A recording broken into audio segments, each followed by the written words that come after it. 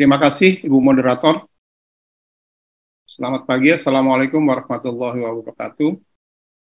Yang saya hormati uh, Kepala Dinas Kesehatan, kemudian Kepala Dinas uh, Pertahanan Pangan, Ketahanan Pangan, Perikanan dan lain-lain. Kemudian Bapak Ibu yang saya hormati, pertama-tama uh, kita bersyukur kehadirat Allah Subhanahu wa taala. Suara saya jelas ya, Bu ya? Oke. Okay. Uh, eh, atas rahmat dan hidayahnya yang telah dicurahkan kepada kita semua pada pagi hari ini, sehingga kita bisa diskusi bersama terhadap uh, informasi terakhir yang terjadi di Kamboja. Uh, saya mengucapkan terima kasih atas undangan yang diberikan kepada saya yang mengingatkan tadi seperti yang disampaikan oleh Ibu Dinas uh, apa KKP Tahanan uh, Pangan KP apa itu? KP KK jadi memang sekian tahun yang lalu uh, 2000 sekitar 2005 2006 kami aktif untuk memantau Jakarta sampai ke pasar-pasar yang besar di uh, Jakarta Timur dan sebagainya karena bagaimanapun Jakarta adalah sebuah ibu kota yang merupakan cermin dari negara Indonesia. Pada pagi hari ini kita mencoba karena memang informasi dari Kamboja tidak begitu komplit, tapi kita coba kita dekati yang penting kita bisa mengambil hikmah dan manfaat dari peristiwa-peristiwa yang terakhir ini. Jadi saya mau izin untuk share screen.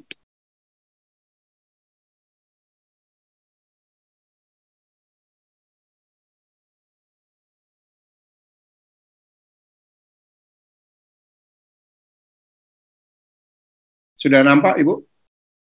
Bu Bapak? Sudah? Sudah, Pak. Sudah, Pak. Ya, baik. Sudah.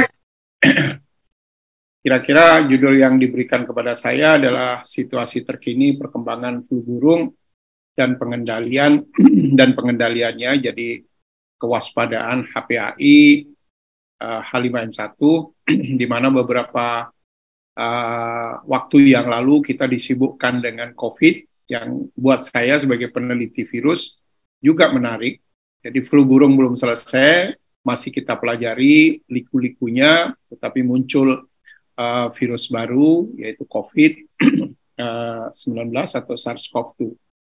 Jadi artinya bahwa bagaimanapun virus sebagai makhluk Tuhan, makhluk Allah memberikan suatu respon-respon yang kadang-kadang mengejutkan buat kita tatkala itu dihadapkan kepada Eh, kepentingan-kepentingan atau keterkaitan dengan diri kita atau di sekitar kita, baik untuk kesehatan dan keselamatan jiwa, serta uh, berbagai hal yang berkaitan dengan faktor ekonomi, misalkan seperti itu. Nah, uh, ada mungkin sekitar, tapi pendek-pendek nanti untuk mengarahkan kepada diskusi kita saja, bahwa saya ingin mengulang tentang ABC virus flu burung atau avian influenza itu apa dan sebagainya. Jadi kita mungkin mengingatkan kembali terhadap virus ini. Kemudian yang kedua tentang informasi kematian warga negara uh, Kamboja oleh virus flu burung.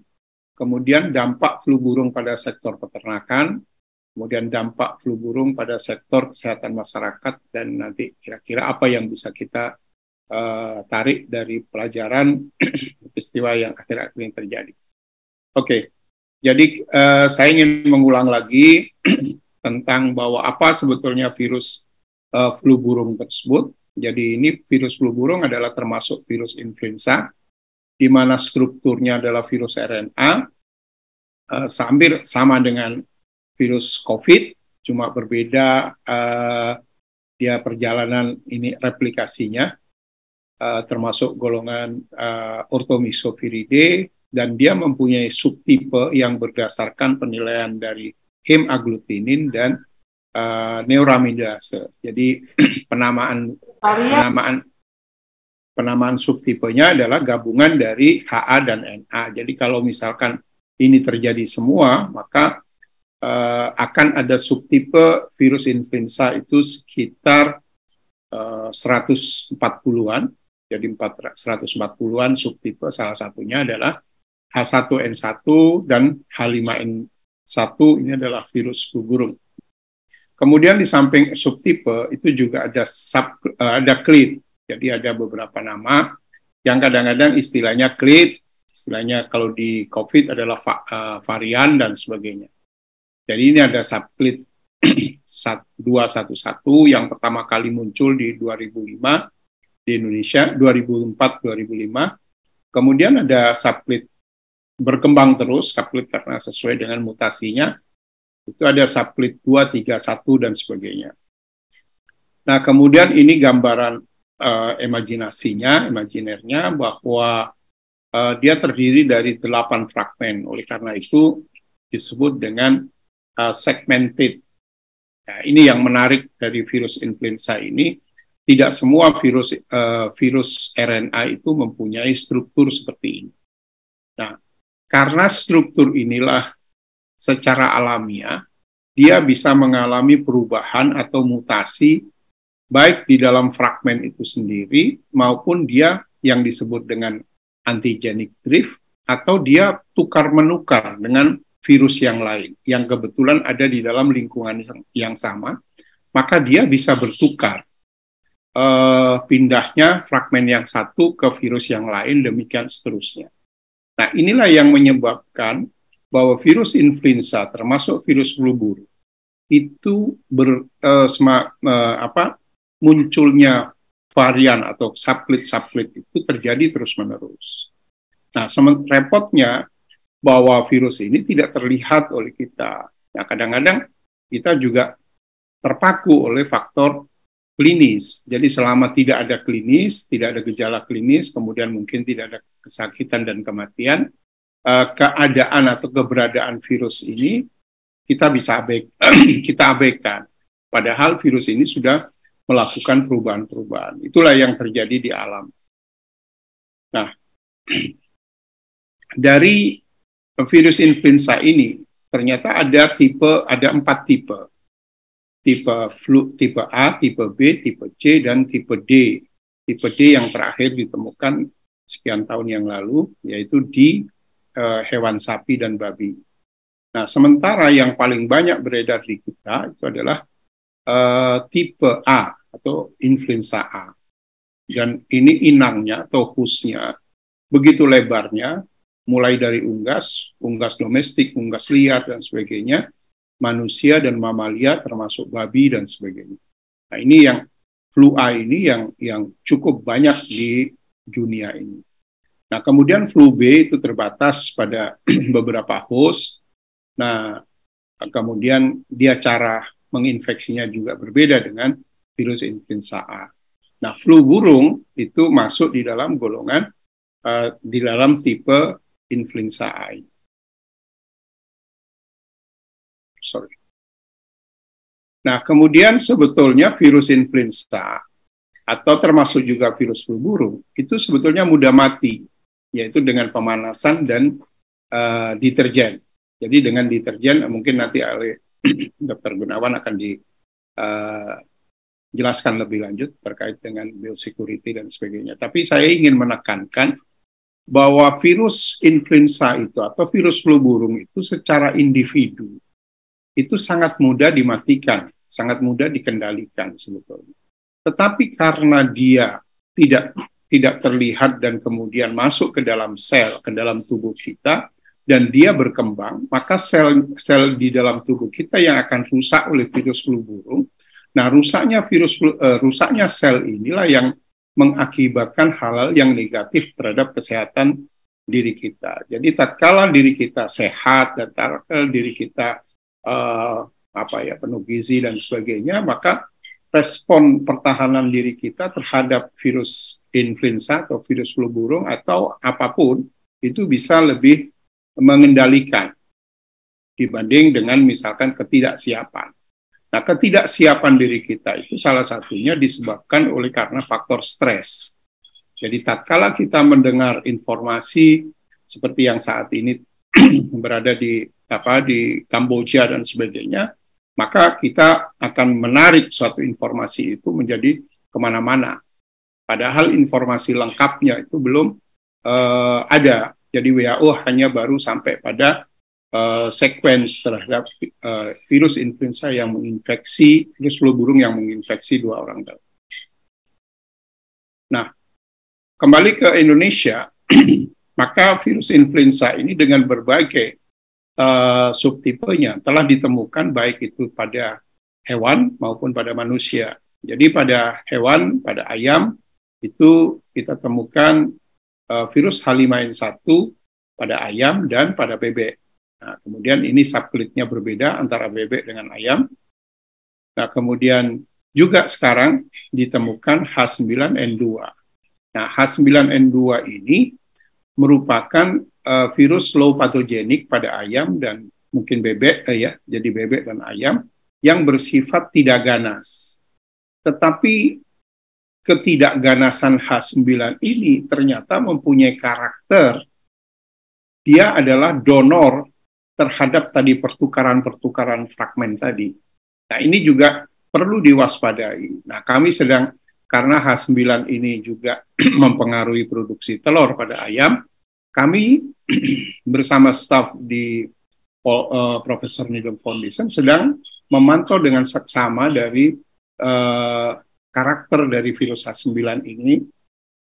Kita khawatir bahwa virus H9 ini mengganggu sistem reproduksi pada manusia. Jadi manusia tidak sakit terinfeksi ini, tapi ada gangguan uh, terhadap sistem reproduksi sebagaimana virus ini mengganggu sistem reproduksi pada ayam.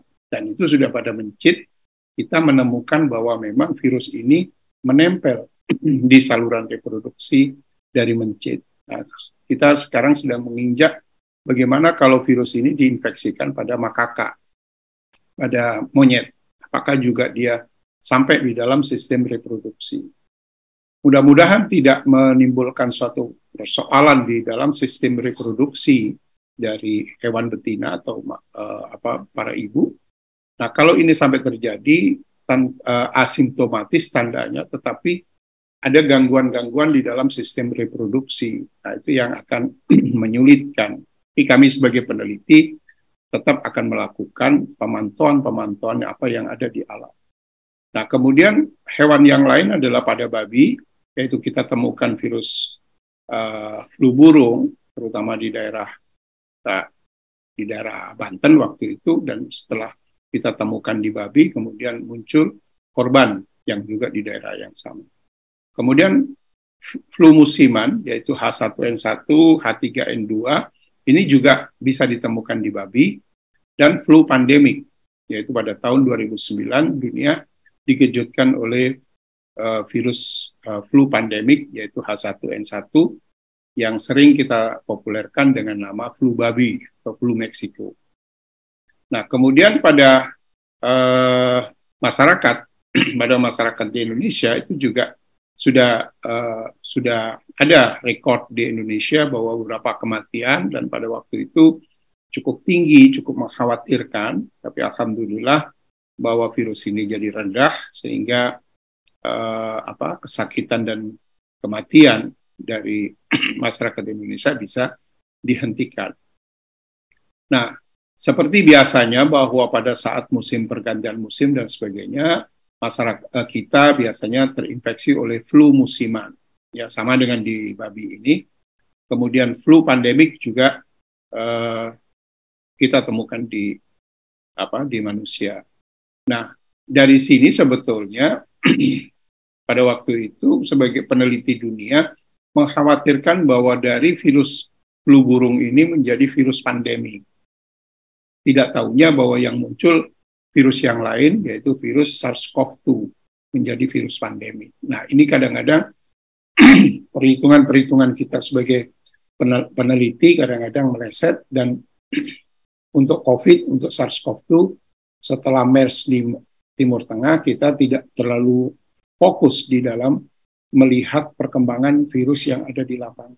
Tapi secara mendadak dia menjadi satu apa virus yang bisa berkembang dan uh, menyebar demikian cepat ya, dan sekarang masih bertahan uh, uh, lebih dari dua tahun ini.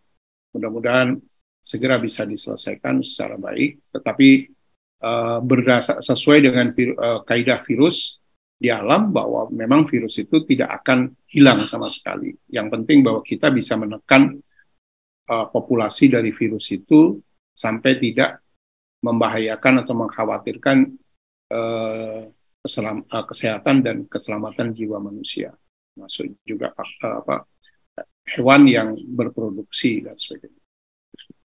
Nah, kita belajar ke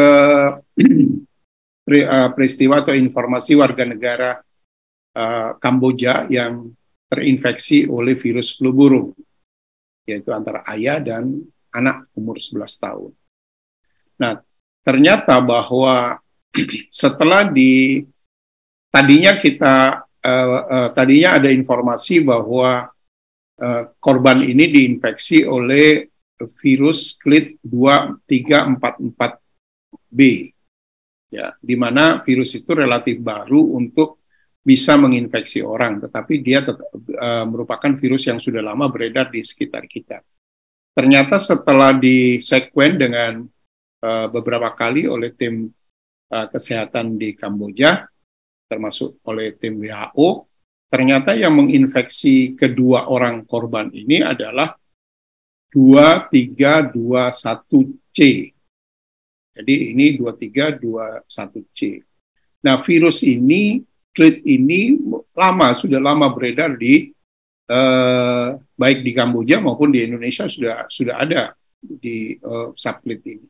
Oleh karena itu, tepat sekali bahwa dinas apa ketahanan pangan dan dinas kesehatan untuk memberikan alat, untuk memberikan apa pemahaman lebih dini karena virus ini ada di sekitar kita. Dan itu waktu itu yang korban adalah di, di daerah provinsi Prefeng Kamboja, jadi di daerah sini, daerah daerah selatan. Nah, jadi 2321 itu merupakan virus yang banyak beredar di Kamboja sejak 2014, 2015, dan 2016. Nah, komposisinya seperti ini. Jadi, ada yang menarik, yang seperti yang saya katakan tadi, ada masukan atau pertukaran fragmen, yaitu fragmen dari H9N2. Nah, tentunya bahwa virus yang tidak ada H9 dan ada virus yang punya fragmen H9 itu secara karakter pasti berbeda.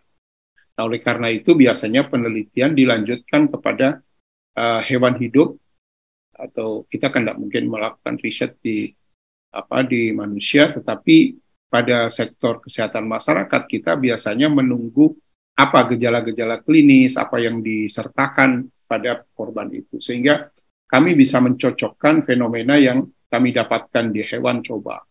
Karena ini ada uh, yang hijau ini ada penambahan uh, H9 ya. Kemudian yang biru ini subklit yang ber, uh, yang sama 23 21 tetapi uh, sudah mengalami beberapa perubahan. Nah, ini selama ini yang beredar di Kamboja.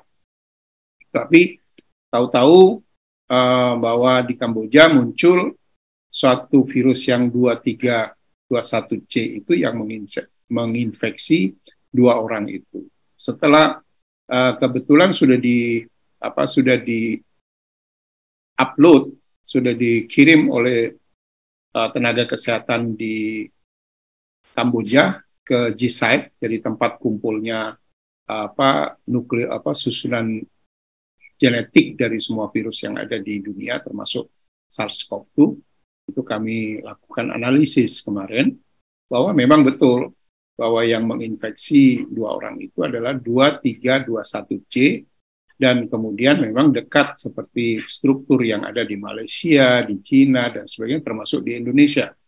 Ya, termasuk di Indonesia itu ada 2321C. Jadi Artinya bahwa virus ini sebetulnya virus yang biasa beredar, tapi pertanyaan yang mendasar adalah yang sedang kami cari informasi dari kedua orang ini ada apa kok sampai dia terinfeksi dan menjadi fatal. Apakah virusnya yang berubah atau inangnya yang yang yang berubah sehingga dia kalau virusnya berubah maka karakter yang bagaimana yang dia bisa menyebabkan kematian. Tetapi kalau hostnya yang berubah, pada situasi yang bagaimana kondisi tubuh orang itu, sehingga dia bisa fatal pada waktu dia kemasukan dari virus ini. Itu masih masih menjadi kajian yang belum selesai. Nah, kemudian kami coba untuk membuat uh, tiga dimensi, gambaran tiga dimensi dari virus 231 uh, 2321C ini yang berasal dari Kamboja. Memang ada beberapa titik yang mungkin mudah-mudahan bisa terlihat. Ini agak yang warna-warna putih ini. Terjadi beberapa mutasi yang kita belum tahu persis titik yang mana yang menyebabkan dia bisa menjadikan fatal dari kedua orang. Ini HA-nya, ini NA-nya. Dan uh, informasi yang lain bahwa virus 2321C yang menginfeksi korban ini itu dibawa oleh burung liar. Jadi virusnya virus lama, tetapi virus yang dibawa oleh burung liar. Nah, sekarang bagaimana dampak informasi flu burung itu pada sektor peternakan, termasuk juga eh, masih adanya virus flu burung di negara kita di Indonesia kita tahu bahwa pasti akan terjadi kerugian yang kerugian ekonomi yang sangat besar eh, jika eh, virus flu burung ini tidak tertangani secara baik pada sektor peternakan. Karena ter, seperti kita tahu bahwa populasi tadi seperti yang disampaikan oleh Ibu Dinas Ketahanan Pangan bahwa Jakarta saja tidak kurang dari satu juta ekor tiap hari masuk ke uh, Jakarta. Jadi artinya memang kebutuhan ayam ini sangat tinggi dan itu pasti terpengar uh, mempengaruhi perekonomian di sektor peternakan. Jadi pada tahun 2021 populasi ter ternak unggas tidak kurang dari 3,8 miliar ekor yang tersebar uh, di beberapa pulau ini dan yang tertinggi pasti uh, ada di Pulau Jawa.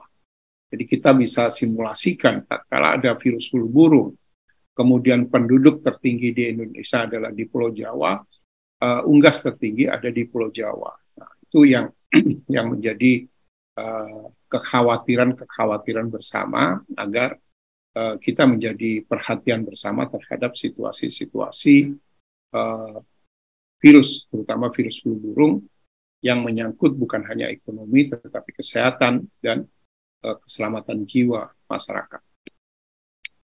Nah, tadi Ibu Dinas uh, Ketahanan Pangan sudah menguraikan tentang sejarah 2025, uh, 2005 menyebar H5N1 di uh, hampir seluruh provinsi di Indonesia. Kemudian yang sebelumnya dimulai 2003 itu sudah terjadi kematian besar-besaran di tingkat peternakan. Nah, setelah eh, 2005 itu tercatat kasus pada WNI, pada warga negara Indonesia yang terinfeksi H5N1. Pada waktu itu kebetulan satu keluarga, jadi seorang bapak, kemudian dan anak-anaknya terinfeksi oleh virus uh, flu burung H5N1. Kemudian tahun 2005-2007 muncul klit, jadi Splitnya sudah teridentifikasi, yaitu klit 21 dan subklitnya sudah berkembang 211, 213 dan seterusnya. 2007, 2010 itu ditemukan klit baru, yaitu uh, subklit baru, ya, jadi penambahan terus-menerus mutasinya. Kemudian 2010, 2012 subklit baru 2002.1.3.2 A dan B itu ditemukan. Kemudian 2012 wabah uh, terjadi oleh karena klit ini yang saya maksud bahwa ini sama dengan yang di, terjadi di uh, Kamboja yaitu 2 3 21C. Ya, ini, ini banyak kematian unggas yang pada waktu itu terjadi di beberapa kota.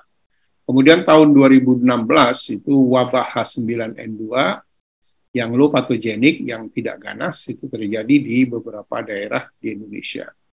Nah, kemudian saat ini yang beredar di Indonesia itu adalah 23 213 21C ini yang dominan, bukan maksudnya bukan satu-satunya yang beredar itu, tapi yang dominan sekarang bukan berarti yang klit atau subklit yang lain tidak ada. Nah ini yang sering kita temukan adalah yang ini. Dan H9N2 masih beredar di sekitar peternakan.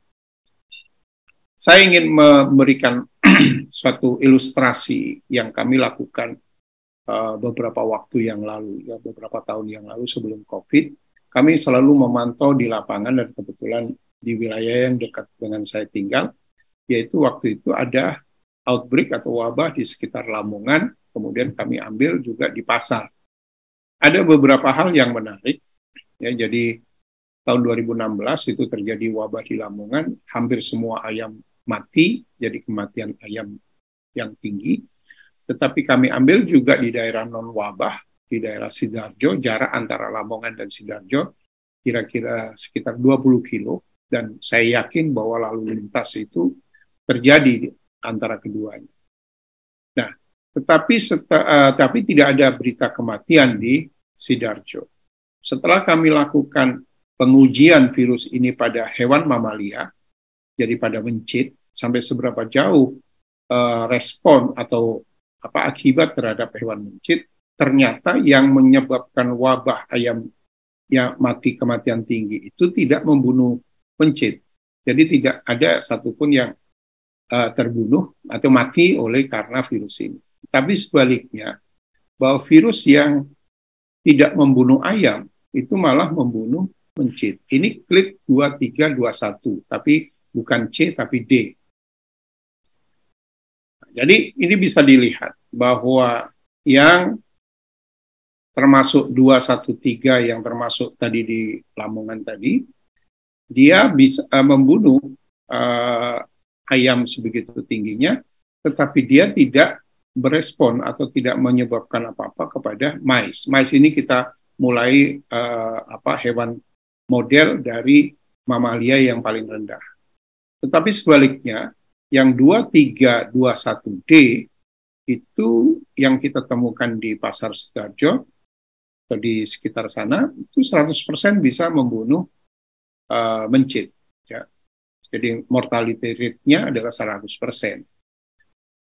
Padahal virusnya juga sama, uh, apa akibat terhadap unggas juga uh, berbeda ya, yang di satu uh, membunuh apa istilahnya terjadi kefatalan yang sangat tinggi, tapi sebaliknya pada ayam tidak menimbulkan kefatalan. Nah ini yang menyebabkan Eh, kita perlu hati-hati, perlu melihat secara seksama walaupun virus ini uh, kelihatannya sederhana, tetapi terus terang dari aspek karakter dan perilakunya uh, perlu diwaspadai. Nah, pengendalian flu burung pada sektor peternakan mungkin nanti oleh Pak Guna, Dr. Gunawan akan dijelaskan bagaimana biosecurity, bagaimana ini. Dan pemerintah juga sudah menerapkan sistem kompartemen jadi wilayah-wilayah yang bebas, wilayah yang ini dan sebagainya. Yang ketiga itu yang selalu kita minta uh, perhatiannya adalah dari pihak karantina selalu harus melakukan tindakan yang tepat, cepat dan akurat pada saat terjadinya lalu lintas uh, ternak ini dari satu tempat ke tempat yang lain. Kemudian untuk meningkatkan mungkin ini di peternakan bisa digunakan jadi untuk meningkatkan uh, daya tahan uh, dari ternak-ternak kita, kita bisa menggunakan herbal atau probiotik. Nah, kemudian yang kelima itu yang sering kita dengar adalah vaksinasi. Vaksinasi uh, di Indonesia itu cukup berhasil mengendalikan kematian dan angka kesakitan, tapi bukan berarti menghilangkan virus. Yang penting bahwa vaksinasi ini seat yang digunakan adalah sesuai dan terkontrol setiap waktu. Jadi apakah dengan adanya 2321C ini muncul kepada uh, apa pada orang menginfeksi orang apakah perlu vaksin-vaksin yang beredar itu dianalisis lagi di, di, disesuaikan dengan virus yang terbaru. Nah, kemudian yang lain adalah langkah-langkah surveillance surveillance ini adalah suatu program yang tidak populer, dalam arti pembiayaan dan sebagainya karena memang seperti seolah-olah pekerjaan yang tidak ada hasilnya tetapi surveillance itulah uh, yang bisa menginformasikan keadaan uh, di lapangan itu bagaimana. Nah, uh, saya ingin menekankan bahwa vaksin yang digunakan pada unggas harus selalu uh, mendapat perhatian untuk selalu dimonitor.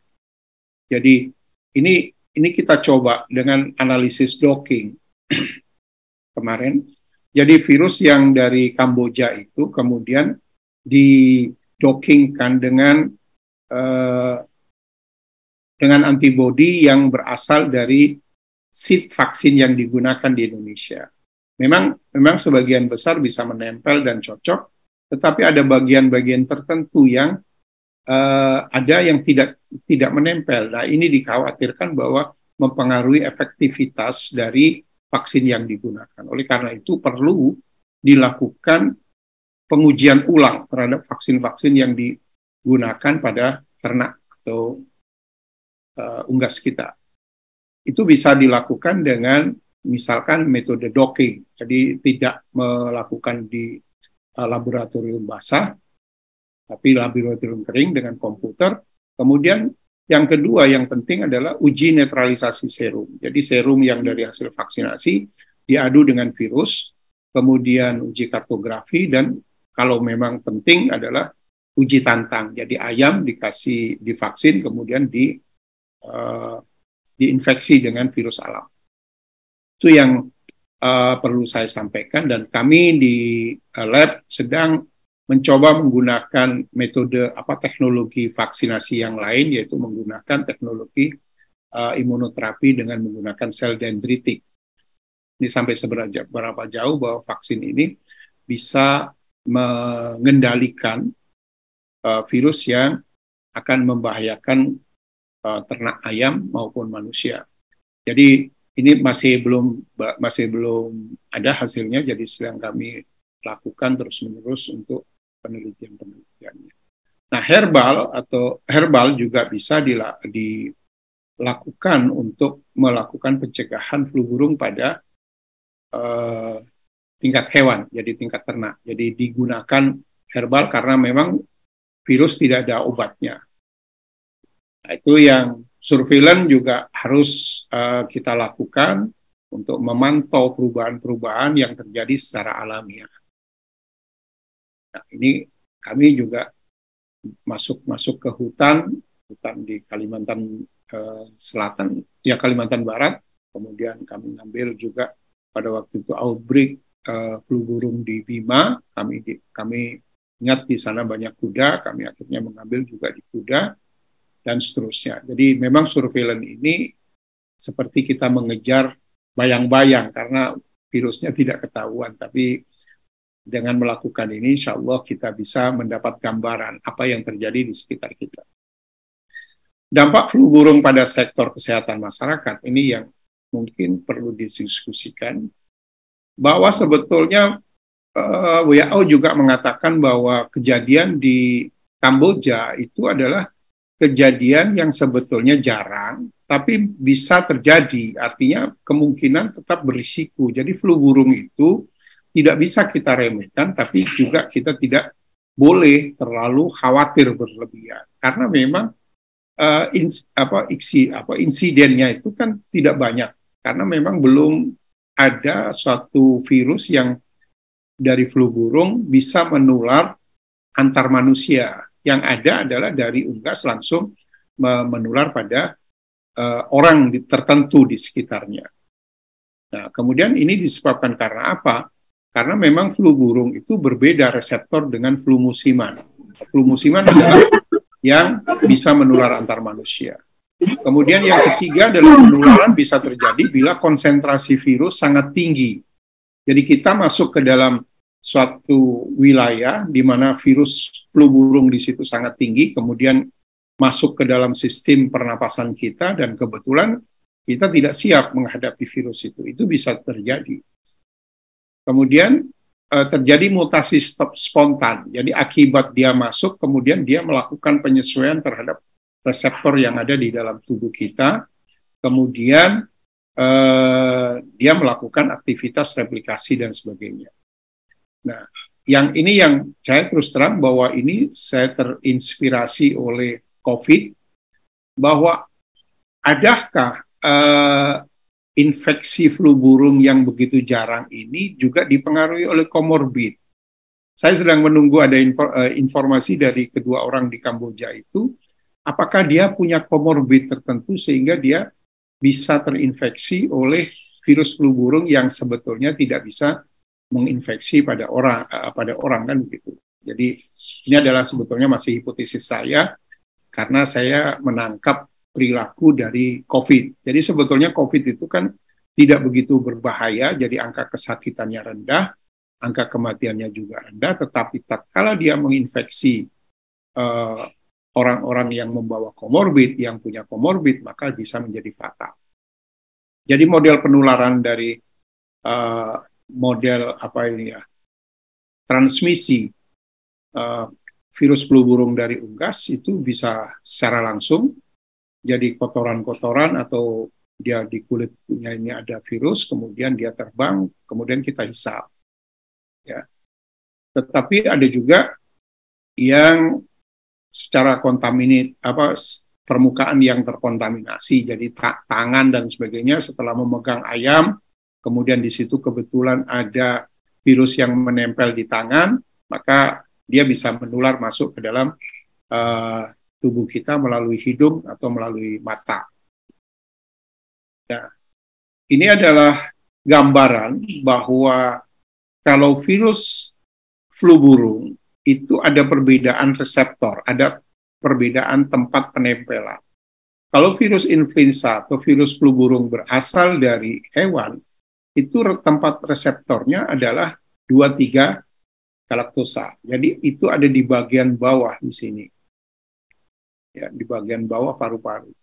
Tetapi kalau uh, virus influenza itu misalkan musiman, jadi dia reseptornya ada di permukaan di sini, sehingga di uh, virus flu musiman lebih mudah menular antar orang. Tetapi kalau virus flu burung karena dia berada di dalam paru-paru, dia agak sulit dia apa, men, apa terlontar dan untuk masuk ke dalam uh, orang lain. Ya, jadi ini adalah berada di bronchiolus dan alveolus. Berbeda dengan SARS, jadi berbeda dengan COVID, itu reseptornya berada di dalam seluruh permukaan, seluruh organ, hanya satu yang paling utama adalah ACE2. Kalau ini ada dua macam, jadi tergantung kepada asal dari virus itu. Jadi terinfeksinya uh, COVID dibanding dengan uh, flu atau uh, flu burung akan lebih gampang di COVID karena dia mempunyai reseptor di seluruh permukaan organ dibanding dengan flu. Nah, ini juga gambaran skematis bahwa kalau ini H1N1, H3N2, flu musiman, itu di sepanjang saluran napas atas itu ada reseptornya. Sementara H5, eh, H7 yang berada di Cina itu bisa masuk ke dalam paru-paru tetapi tidak seganas H5N1. Kalau H5N1 itu di saluran napas atas tidak tidak ada reseptornya tetapi di paru-paru itu penuh reseptor termasuk juga di saluran uh, pencernaan khusus dan sebagainya dan bisa dijumpai di otak. Jadi pada ayam dan sebagainya itu bisa kita temukan virus flu burung ini di otak. Nah, kemudian ya ini tadi uh, gambaran lebih detail bagaimana gambaran antara H5N1 ini dengan eh, SARS-CoV-2 kalau sama-sama masuk ke dalam paru-paru. Jadi ini yang juga kita pantau sementara virus COVID di sekitar kita sudah landai, landai itu bukan berarti hilang, tetapi pada saat yang sama kita akan menghadapi adanya virus flu burung atau virus influenza. Mudah-mudahan tidak ada yang fatal, tidak ada hal yang di luar dugaan, tetapi semua bisa diprediksi dengan baik. tatkala mereka melakukan mix infection, jadi infeksi campuran. Hubungan komorbid dengan risiko terinfeksi flu burung, memang fakta atau riset terkait dengan risiko terinfeksinya flu burung dengan komorbid tertentu belum tersedia, jadi belum belum banyak informasinya. Tapi oh, kita mohon maaf, waktu tinggal tiga menit ya. Ya, ini terakhir. Jadi faktor komorbid ini ba banyak muncul uh, apa uh, data atau informasi yang dikaitkan dengan influenza musiman. Jadi jenis komorbid yang dikaitkan dengan infeksi flu mirip dengan komorbid untuk infeksi uh, COVID. Nah itu jadi seperti ini gambarannya bahwa uh, misalkan orang perokok itu mempunyai lebih sensitif kemungkinan itu uh, dengan flu burung. Kemudian secara genetik memang dia mempunyai uh, kelainan pada aspek-aspek tertentu di dalam respon imun. Kemudian uh, orang yang sedang hamil dan sebagainya itu juga mempunyai tingkat sensitivitas. Nah, ini sampai seberapa jauh komorbid seperti diabetes, kronik uh, CKD dan sebagainya ini memberi peluang kepada uh, virus flu, flu burung H5N1 untuk menginfeksi yang membawa komorbid.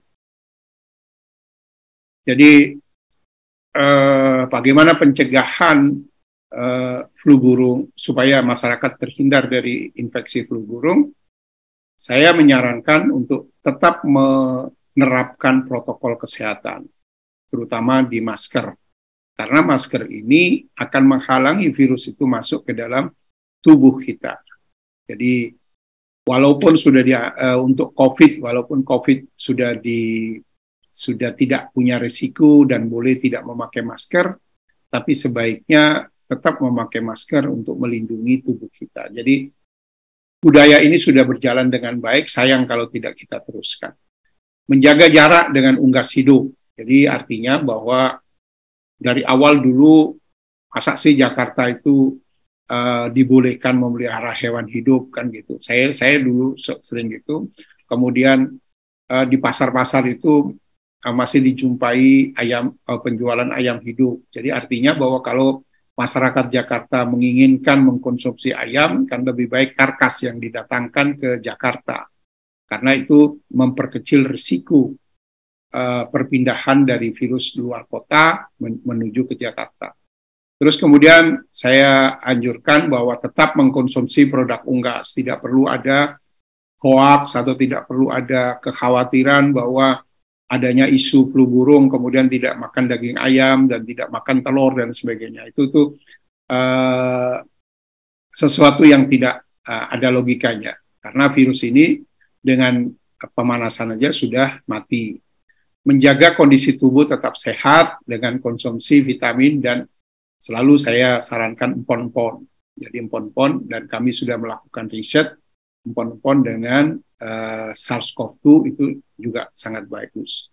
Vaksinasi flu atau flu burung bila tersedia. Jadi kami tahun 2012 itu sebetulnya sudah mengkonstruksi uh, virus H5N1 untuk vaksin. Jadi pada waktu itu sudah di saat ini kemungkinan sudah disimpan uh, eh, saat ini sudah disimpan di Bio Farma. Jadi kalau toh misalkan Indonesia memang memerlukan vaksin H5N1 untuk manusia itu seatnya sudah insya Allah sudah tersedia di sana. Nah, kesimpulannya apa? Belajar dari infeksi flu burung di Indonesia dan Kamboja bahwa ancaman infeksi flu burung pada manusia tetap terbuka meskipun belum ada indikasi penularan antar manusia. Pengendalian flu burung dilakukan oleh semua pemangku kepentingan tadi seperti uh, webinar hari ini yaitu antara bidang uh, sektor kesehatan dan sektor peternakan untuk memikirkan bagaimana menghadapi ancaman-ancaman dari virus-virus yang mengganggu ekonomi dan kesehatan manusia. Demikian lebih kurangnya saya mohon maaf hanya itu yang bisa sementara ini bisa saya sampaikan karena memang informasi dari yang Kamboja itu memang sedang kita tunggu-tunggu. Sekali lagi mohon maaf wabillahi taufik walidayah. Assalamualaikum warahmatullahi wabarakatuh.